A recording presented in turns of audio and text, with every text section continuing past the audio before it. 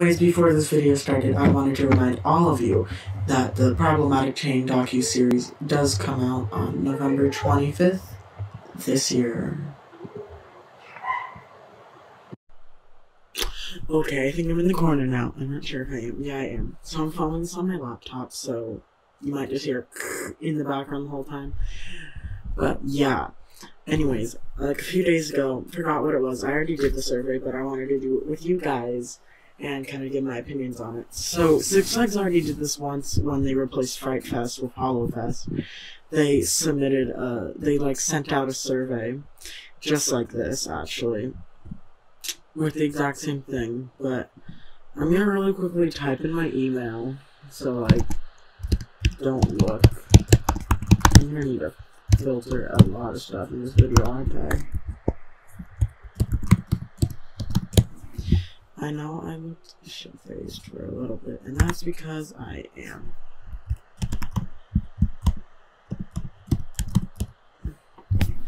Okay, so now we're gonna start the survey. I just, I don't know, I didn't just do that before I started recording, but yeah, well, no, this is what we're working with. So the first page is like, what's your closest park? Mine's Discovery Kingdom. You select whatever yours is. But anyways, how many times did you finish a visit Discovery Kingdom this year? Six plus times. I have an addiction. I know. When was the last visit to, visit to Discovery Kingdom? It was actually last weekend, and I'm going again this weekend.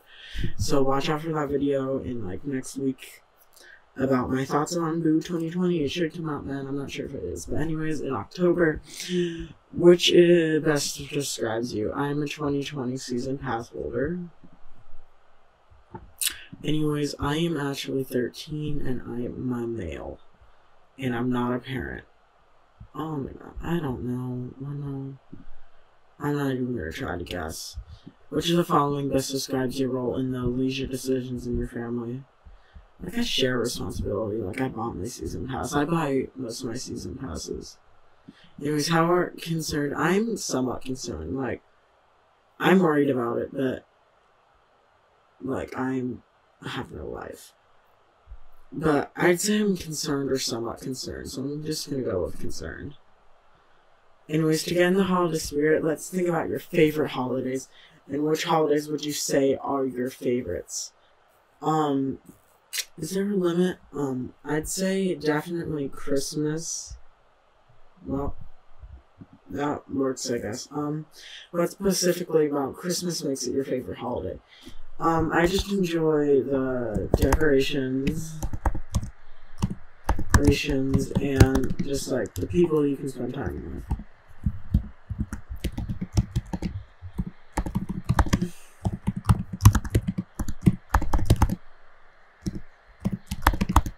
Yeah, I know. All those are not spelled right at all because I have a light in my face and I can barely see anything. Anyways, let's talk about what you did on Christmas Day last year. What did you do with your family at last Christmas Day? Oh my god. I just pulled a muscle that hurt. Anyways, what did you do for Christmas Day last year? Check everything you did. I went to a drive-through light show, kind of. No, actually no. Yeah, why not? Yeah, I played video games. I have no life. Uh, my town's Christmas tree lighting actually on the first of the summer, but I went to Discovery Kingdoms because I was there. I shopped online. Actually, no, I didn't. I broke. Um, let's not lie. I went to. I had Christmas dinner, kind of like I ate dinner that day. I worked around the park. I actually went to Discovery Kingdom with my friends. I need a social life. I did holiday crafts. I baked that night. And yeah. So I actually did a lot. Oh my god. Mm. And I watched movies and didn't see that. Anyways, how far did you travel last year to celebrate Christmas Day? Uh, I didn't travel, and actually, yeah, I did. Discovery King is 15 minutes away. Um, how did you travel? I drove with my parents in a car because I can't drive. Because once again, I'm 13. Now tell us your plans on celebrating Christmas this year. Do you plan to do same same things on Christmas? Maybe, with a few exceptions. So I'm just gonna say yeah. That's yeah. what will you do with your family this year, Christmas? Okay, I'll probably once again play video games. I have no idea. I'll probably do some work around the house. I decorate a lot for Christmas. Um, yeah. I'm gonna say have Christmas dinner because I'm probably still gonna eat with my parents and my sister. I'll probably go through a drive-through light show because they actually have those in California. Um, I might, if I'm at the park, I'll go to a tree lighting ceremony, but that's not in my plans this year. Um, I'll probably shop online, probably cook, and I might visit Discovery Kingdom. Well, no, it's kind of a tradition, I don't know. Um, how far will you travel this year to celebrate Christmas? I'm probably just gonna go to Discovery Kingdom and be the farthest place again. Because I have no social life. Anyways, how far will you travel? I mean, how? I I speak English. Um, I swear I do. Um, I'm probably gonna drive with my humans again. Anyways, do you think you will just stay at home or will you look for something outside the house? I'm probably gonna look something outside because I can't deal with my family anymore. If you go on Christmas Day, what kind of activities do you want to do? Choose all that apply. Um, probably Discovery Kingdom, probably go see a light show, and that's probably it. Um, yeah. In terms of choosing activities, what's important? I can choose up to three. Um, I think it's definitely how Christmas related they are. My Siri just popped up. Um, I think, especially this year, is how safe they are COVID 19 wise. And I think it's also, like, just length of activity. Actually, it's fun. Because if it's too long, then it gets boring. But if it's too long and entertaining, it's not.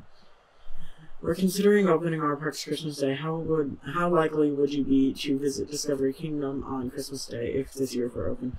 Probably very likely. Like to be honest, you should do an overnight. That'd be really fun.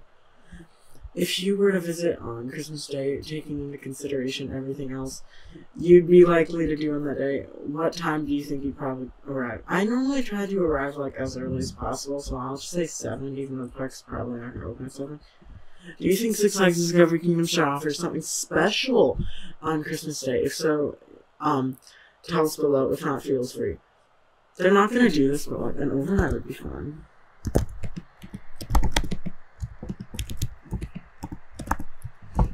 Like that'd be fun. I've only done overnight a few times at Santa Cruz Beach Boardwalk with my old Boy Scout troop. It was fun.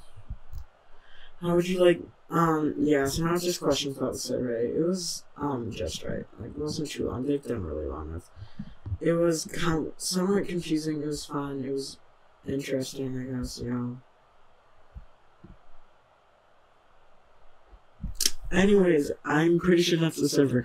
Okay, yeah, not server. I speak English, I swear. Oh my god, for a second I thought I wasn't recording. Anyways, let me grow myself back all the way to the screen. It's gonna take a second. Oh my god. My screen recorder is glitchy on here. We love a glitchy screen recorder. Anyways, uh, that's all for the video, and it was a really short one. I didn't do much. I, a lot of these videos recently are really short, and they're going to continue being short because I and a lot of other friends of mine are putting a lot of effort into the docu series. Not series, it's just one long thing. It's like 40 minutes, 30 minutes, it's looking like. Um, for the problematic chain. And the trailer's out on my channel now and the problematic chain once again comes out on november 25th of this year. So with that i hope you guys have a great success not successful i don't care. Um you do what you want to do with your life. Anyways i hope you have a happy and successful day for the rest of this night because I'm posting this at 12 tomorrow. Anyways, uh, you have hit the brake run and have a great rest of your day.